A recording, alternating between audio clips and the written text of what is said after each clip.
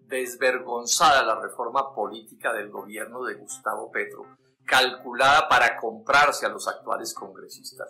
Comprárselos porque con unas listas cerradas les garantiza que se reelegirán en las elecciones del 2026 y comprárselos porque les permite saltar de congresistas a ministros y a otros altos cargos y volver a congresistas. Cambio sí, pero para peor, cambio sí, pero cínico y descarado para perpetuar al petrismo en el poder. Eh, cuando uno analiza el comportamiento eh, de un personaje que tenemos hoy, el presidente de la República, se da cuenta que sí tiene un ánimo precariativo. ¿Por qué? Siempre ha habido una discusión frente al excesivo poder de la Procuraduría y se ha dicho que definitivamente para preservar los derechos de quien ha sido elegido popularmente debería ser un juez y no la Procuraduría, que además ustedes saben más que yo, es una entidad prácticamente única. Van, críticas bien. Yo personalmente soy la defensora de la institución porque lo he vivido sobre todo de parte del ciudadano vulnerable, una protección solo tiene la Procuraduría aquí en República. Con todos sus defectos, lo que se quiera, digo la Procuraduría especialmente para todos los personajes audaces de este país, que terminan llenos de ideas sin fundamento, más hoy la ideología es lo que prima, no la realidad de los hechos, donde pueden llevar prácticamente un país por el abismo gobierno. Ahí esa función me parece extraordinaria, usted tiene un marco, usted tiene que limitar sus acciones como y como funcionario. Pero una vez es sancionado Gustavo Petro por el cordón, se desata toda una batalla jurídica donde lo que se ve es esa capacidad que tiene la izquierda de copar todos los organismos internacionales. Tienen una comunicación directa con la Corte Interamericana que no tienen prácticamente ningún otro de los locales. Ellos sí, igual los aliados de izquierda, igual los chilenos de izquierda, en fin. Ellos tienen ahí sus aliados, porque con sus aliados es que ellos van ganando las batallas que no pueden ganar por las vías democráticas, lo hacen con la internacional. Entonces, cuando él inmediatamente asume su posición de víctima, usted sabe que creo que fue menos de 24 horas que le dictan unas medidas cautelares, que además Jamás en la historia de ninguno de estos países firmantes de la Convención Americana una medida cautelar era obligatoriedad. Esa se las inventó Mundialé. La medida obligatoria es la medida provisional dictada por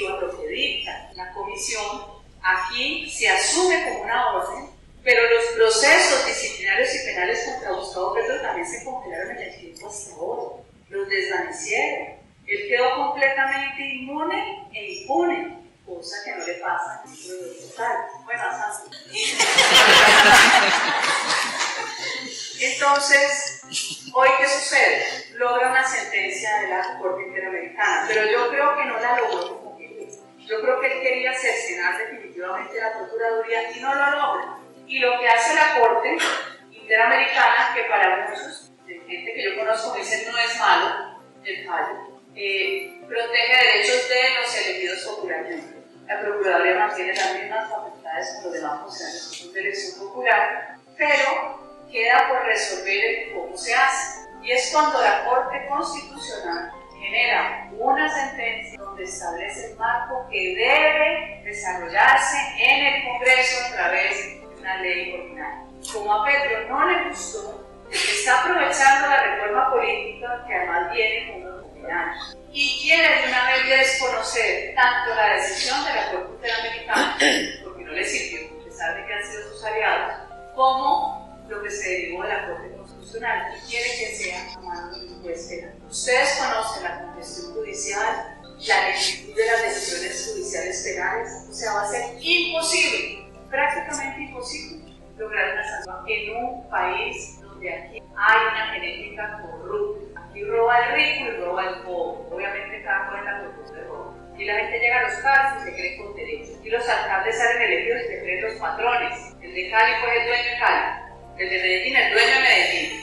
Claudia López también. Ellos creen que es su casa. Su casa haga lo que le dé la gana. Pero tiene que tener unos límites de una administración pública que hemos visto que han hecho desastres. Si hoy la Procuraduría, la Contraloría, la misma Fiscalía es lenta. Mi temor es que lo que puede volverse es prácticamente de disciplinar un personaje de estos porque el disciplinario pueda llevarse después una, una investigación, una Creo que Pedro odia a la Procuraduría, quiere desaparecerla y tenemos que proteger. Y la protección es ya mismo invitando a las altas cortes, al Consejo de Estado, a presentar un proyecto de ley que nos dé un marco normativo que sostenga la facultad. Yo creo que la Procuraduría tiene hoy suficientes herramientas para llevar una buena investigación disciplinaria. De hecho, una muy buena investigación disciplinaria puede derivar en una investigación de carácter penal.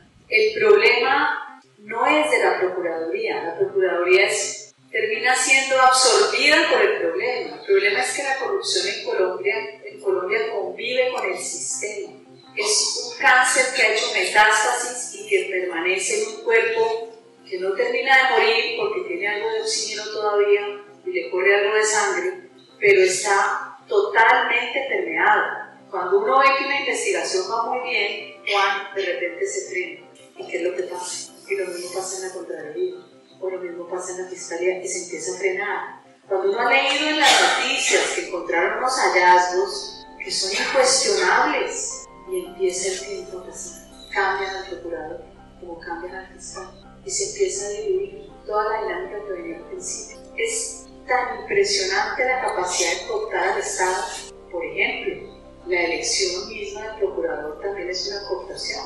Hay un matrimonio de, yo no sé si la palabra sea mutuas inhabilidades, o sea, ¿cómo así que yo te elijo para que me investigues? Es como raro. Ahí hay un problema en la elección. En la misma burocracia de la Procuraduría que los congresistas también piden.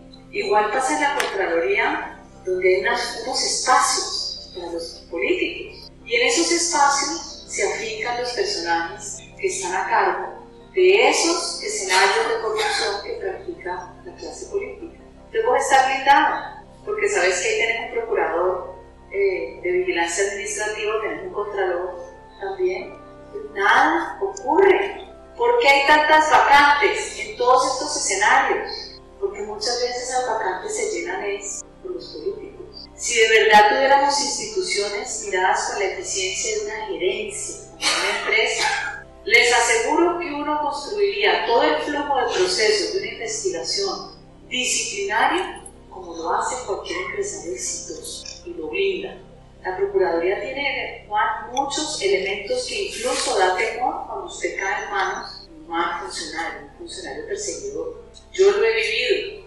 Yo he vivido escenarios donde un procurador ambiental y agrario tenía totalmente paralizado el desarrollo de la construcción de un municipio. Cinco años de parálisis por una señora, obviamente de la corriente eh, de ahora, que usted no puede hacer nada porque el cambio climático va a acabar la vida, como, como, cuando nos decían que la capa de ozono nos iba a chicharrar a todos. Ya no se puede respirar porque usted afecta al medio ambiente. No dejó en cinco años hacer una obra civil reventó a los constructores y la señora era inamovible. Tiene poder de hacer daño. Muchas veces el ciudadano, el empresario no encuentra a quién referirse para decirle, por favor, esta señora no ha permitido que una obra se construya. Y así pasa en otros escenarios. La Procuraduría tiene poder, tiene que llenar esas vacantes y tiene que revisar sus procesos, pero facultades las tiene. ¿Cómo hacemos? Es la pregunta. Para uno limpiar país cartelizado. Si en Colombia cada ley tiene dueño, las leyes en Colombia tienen dueño. Hay leyes diseñadas a la medida del interesado. Y después cuando usted hace ese desarrollo normativo, los que hacen plata son los dueños. La gran tragedia de este país es el monopolio. Si usted cogiera una tijera y cortara esos monopolios, este país crecería más del 10%. Esa es una misión de vida que hay que hacer. ¿Por qué no vemos la eficiencia en el gasto? ¿Cuánto cuesta la Procuraduría? ¿Cuánto cuesta la Contraloría? ¿Cuánto cuesta la Fiscalía con respecto a los resultados que generan? Cada vez que llegan a pedir plata en comisión primera, que llegan las altas cortes, uno les dice, ustedes los han evaluado por eficiencia, se rajarían. Y peor en este país, donde hay seis altas cortes, que es una locura, porque entre más cortes hay menos libertad del ciudadano, está uno más expuesto eso no se ve, porque es una obsesión cada cual por su porción de poder. A ver, Juan, eso suena muy chévere. es un. Sí, suena bonito. Yo no digo que no sea un deseo. Uno debe creer, porque qué tal que uno no creyera con todo lo que ve todos los días. De hecho, ahora que describió el vecino, usted que llega borracho, que me acordé de algún personaje que va a hacer mucho daño, porque no es propiamente la persona apta para gobernar. A mí sí me sigue generando inquietud es que la Procuraduría sea elegida por el Congreso. No, no tengo la fórmula. No me gustan los concursos porque desde que se dice concurso hay una mano metida. Es que aquí somos tramposos, Cuando yo veo el Congreso y veo esa capacidad que tienen los congresistas de moverse en las distintas carteras y de bajar dinero para sus gobernadores y sus alcaldes. Ahí es donde está el triángulo. Ese dinero lo ejecuta un contratista que va a ser el financiador de la campaña. ¿Por qué concentramos el poder nuevamente en Bogotá? Que buena parte de la culpa la tiene también Santa. ¿Por qué no descentralizamos realmente el presupuesto de estos departamentos y estas regiones que tienen que ir a mendigar a Bogotá? Tanta carreta que se ha hablado de la descentralización y todos terminan allá haciendo fin a ver si les dan para pedazo de carretera. Una mejor administración es qué presupuesto existe y una vez usted sabe con qué cuenta. Y no está usted detrás del patrón, que es el senador de turno, el representante de turno, que es el que va a dirigir esa distribución de ese recurso. Y cuando viene una investigación para ese alcalde o ese gobernador tuyo, vos tenés esa capacidad de gestionar frente a la Procuraduría frente a la Contraloría para que la investigación se frene. O sea, yo ahí veo algo que no debería existir, porque la Procuraduría debería estar ajena al control de los políticos, debería tener una transparencia suficiente como cuando usted necesita por su tipo de negocio una auditoría externa. Usted tiene su contador, su revisor fiscal, pero usted necesita un auditor que le revise las cuentas. En este país se roban tanta, tanta, tanta plata, de verdad, que uno no puede creer que seamos capaces de producir tanto dinero y tener todavía tantas necesidades es que este es un país, Juan, que las necesidades básicas insatisfechas del sector rural están por encima del 70%. ¿Cómo es posible que un país, el segundo en el mundo con mejores recursos hídricos, no tenga agua? ¿Cómo es posible que en Santa Marta, que tiene la Sierra Nevada, corten el agua o el, agua salga con esos fecales? entonces uno dice, ¿qué nos pasa? ¿Qué tal los israelitas en el desierto? Todo lo que producen, aquí no y como hay de todo, no hay nada. Entonces sí hay un problema de corrupción que está en el sistema, que está en la condición. Aquí a la gente le gusta la plata fácil, aquí la sociedad traquetil se puso de moda. Aquí el trabajo del abuelo ya no, porque ahora los peladitos quieren todo gratis y todo les deben. Si se acordaran de cómo eran sus abuelos y sus bisabuelos, les daría vergüenza. Hoy tenemos mucho más y hemos construido a pesar de la adversidad, pero sigue faltando. Yo sí quisiera que hiciéramos la reflexión de cuál es el ideal de una elección de procurador y de contralor, porque no es por demilitar al Congreso, es que el Congreso mismo se ha hecho el jaraquí, el Congreso se ha irrespetado. Al Congreso le han vulnerado sus derechos a mi juicio, por ejemplo, con la forma de investigar un congresista. Tanto que se peleó porque los pobres apurados con una sola instancia no daban una risa a este país en este país todas las convenciones internacionales de derechos humanos las compramos. Todo lo que diga derechos humanos, derechos civiles y políticos. Y en la práctica, no es posible que uno tuviera una sola instancia, por favor. Si hablamos de garantía judicial, la primera garantía de un Estado de Derecho es la doble instancia. ¿Cuánto se peleó? Y se hizo una cosa ahí medio chueca, regular, porque lo que hay no está bien.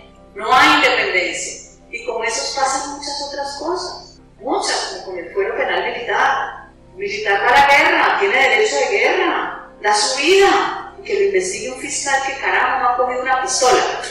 Eso es muy tenaz, ¿o no?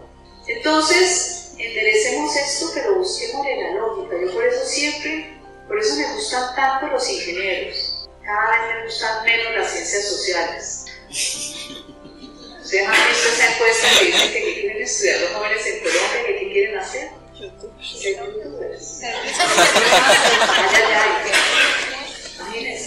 Imagínense, los países asiáticos que no tenían los recursos naturales nuestros y iban de primeros en los índices de libertad económica y nosotros de youtubers. la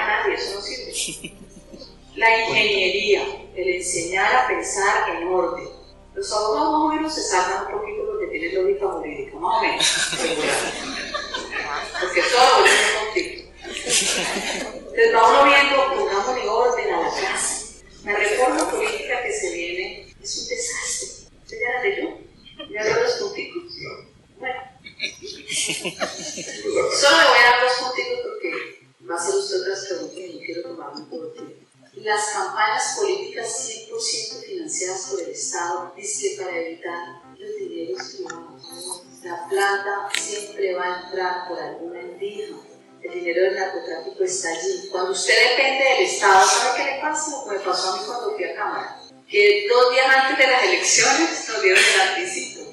¿Qué pasa con la gente que necesita el recurso y no le dejan usar el recurso propio porque lo votan de Te arruina el Estado, te arruina el gobierno de turno, no te dan el dinero de la campaña, la financiación 100% estatal es un peligro para la supervivencia de la democracia en este país. Otra locura que tienen, me da pena pues sentir feministas, pero ese cuento de que la paridad es 50%. ¿Por qué seguimos arriesgando el mérito por cuenta del género? ¿Será que valemos tan poquito que nos tienen que regalar 50%? Evidentemente a uno le gustará el pago y a otros no. Yo he sido muy crítica en el pasado, sí, de decisiones de las cortes.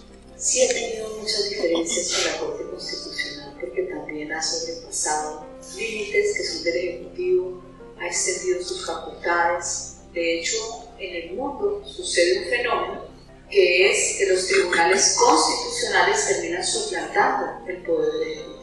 Eso sucede cuando hay cortes constitucionales autónomas, no una gran corte que tenga distintas salas. Eso pasa en los países donde existe corte constitucional o de constitucionalidad o tribunal constitucional, como, como se denomina. Sí había una tendencia y me parece que hicieron daño con algunas decisiones que eran absurdas, sobre todo en un país con una tragedia como Colombia que tiene que enfrentar el narcotráfico y que va a terminar sucumbiendo si no se le dan las herramientas al Ejecutivo para enfrentar los cultivos ilícitos. Aquí creemos que este es un paraíso y que las comunidades cuando hacen una tutela es porque son autónomas, sino porque están bajo el control de los helenos, pues no vamos a tener país, es así de sencillo.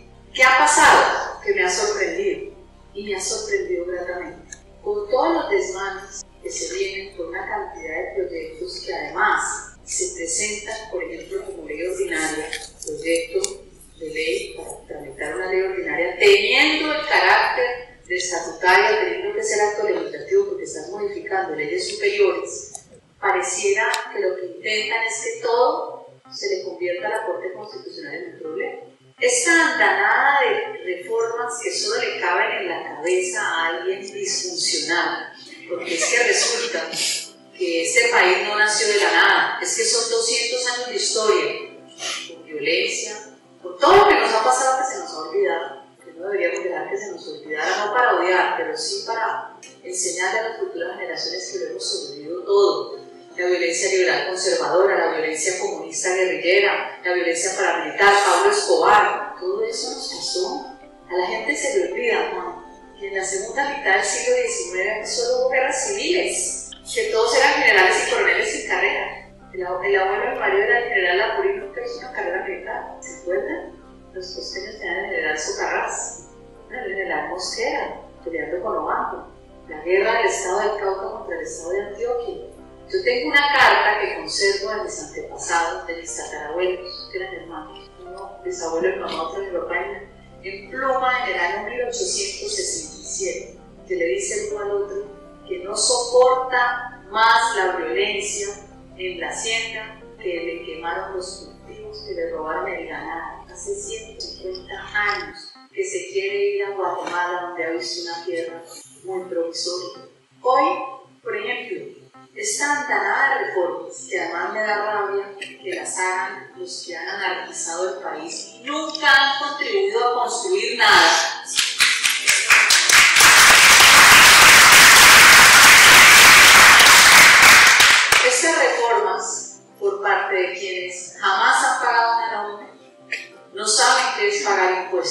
Se han servido del Estado, llaman clase política a lo que ellos mismos son, porque han vivido de la política, no se les conoce ningún oficio diferente.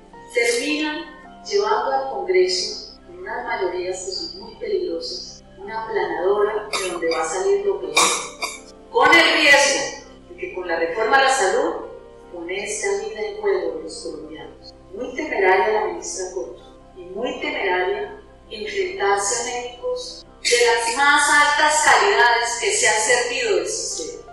Temeraria, porque la gente con fundamentalismo ideológico termina siendo muy peligrosa. Así han sido los millones de muertos a lo largo de la humanidad. Muy temeraria. Es como eh, tratar de controvertir a alguien que tiene unas calificaciones muy superiores a las suyas, ni más ni menos en el tema de la salud. Como muy temeraria la ministra Dani, es que no pone un filósofo un cargo que exige un nivel de competencia técnica, como si mañana usted le van a hacer una cirugía y llaman a un veterinario. y uno no sabe si lo hacen por burlarse de nosotros, porque no les importa, o porque de verdad en su alucinación piensan que así está bacano, como Susana Boreal.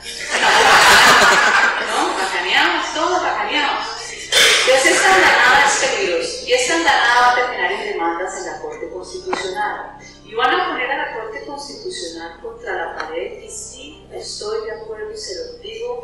Además, porque he tenido la oportunidad de recorrerme el país todos los días con los empresarios que están horrorizados, teniendo que echar empleados de todos los distintos gremios, unos más afectados que otros, ya vio usted lo de Camacoto, la locura. 110 mil familias se van a quedar sin su único medio posible de poder acceder a la vida, como llaman jurídicamente, civil en cuanto a poder tener un crédito por tener la única propiedad que pudieron tener, que es su casa, su techo, que psicológicamente un techo te resuelve parte de la tranquilidad del hogar. Pero es un techo donde usted accede a un crédito, accede a la vida civil, usted se una persona sujeta de crédito, usted ya sube un peldaño, ah, ya eso no le sirve, porque eso no somos suficientemente pobres. Ahora se inventan los tecnócratas, que esos sí son peligrosos, los tecnócratas calientasilla de los ministerios, una formulita donde es imposible discutir. La pobreza extrema no se trata con un sistema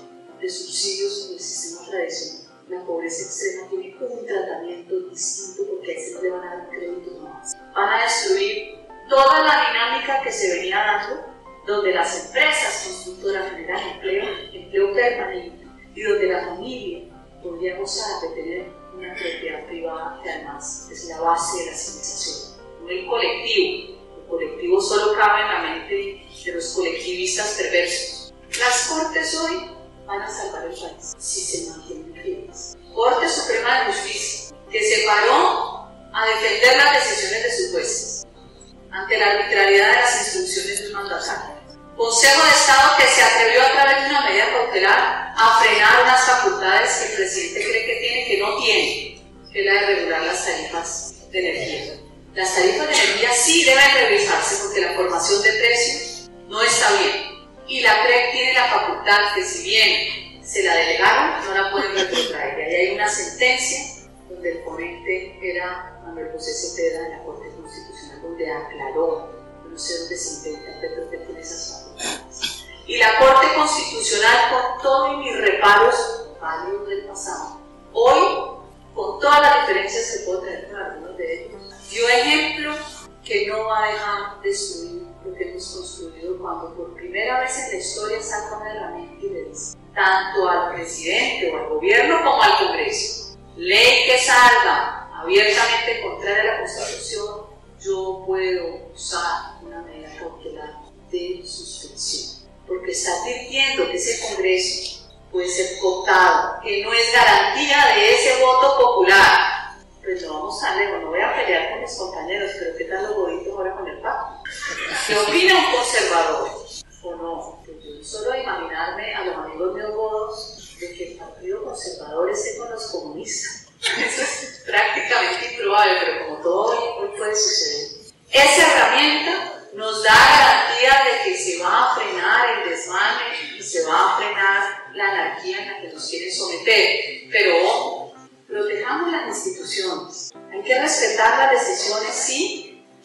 Hay que actuar también hay que hacer respetar las facultades del Ejecutivo. Y por primera vez he visto que son las altas cortes que unidas pueden ponerle límites a la destrucción de un país que hemos construido todos. Ahí está la Procuraduría, ahí tienen que estar las demás entidades. Hemos visto un fiscal que salió finalmente valiente y una reforma a la justicia.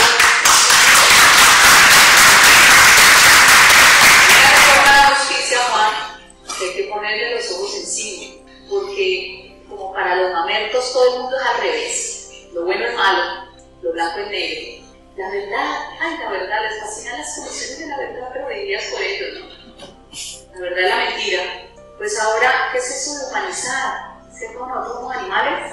Humanizar, la palabra humana. Es tan peligrosa. Yo revertiría tantas cosas. Yo devolvería los mejores generales que descabezó Porque es que la inversión de un general de 30 años significa que es la protección de nosotros los ciudadanos. Yo devolvería los mejores generales de policía y ejército, yo le devolvería la dignidad a la fuerza pública, yo, por supuesto, que recompondría a la Procuraduría, porque es un elemento dentro de nuestra institucionalidad que es parte, es parte nuestra, es parte esencial. No sabría cómo de aquí en adelante, sencillamente porque hay que acabarla, entonces ya nos acostumbramos, yo creo que no, la Procuraduría hoy ejerce unas funciones que se volvieron parte esencial, como le decía de las garantías de los ciudadanos. No lo miremos en escenarios eh, más de, de, de, cómo sanciono al funcionario, al servidor, no, cómo me protejo como ciudadano, a quién recurro, a quién recurro que estoy solo que la Defensoría del Pueblo, no, hay algo superior que la Procuraduría no puede defender. Y eso lo he visto en tantos escenarios. Entonces, cuente con eso. La reforma política de Petro trae una avalancha de medidas que van a acrecentar la corrupción, la politiquería y el clientelismo. Es inaceptable, por ejemplo, que esa reforma permita que los actuales congresistas puedan ser nombrados por Petro como ministros. Es decir, ya el clientelismo no va a hacer que los congresistas puedan coger a sus amigotes y ubicarlos en cargos importantes del Estado, sino que los mismos congresistas van a poder ser ministros y manejar toda la burocracia y todo el presupuesto de cada una de las carteras. Una medida perfecta para que Petro asegure las mayorías que necesita el Congreso para aprobar sus reformas, es decir, una medida para que Petro siga arrodillando el Congreso, violando un principio democrático básico como la separación de poderes. ¿Y qué me dicen de esa medida que permite que los actuales congresistas se ubiquen en los primeros renglones de las listas cerradas para garantizarles la reelección? Otro favor que les tira Petro para seguir aceitando esas mayorías, seguir dándoles favores y beneficios, a cambio, por supuesto, de que le aprueben todo lo que él presenta.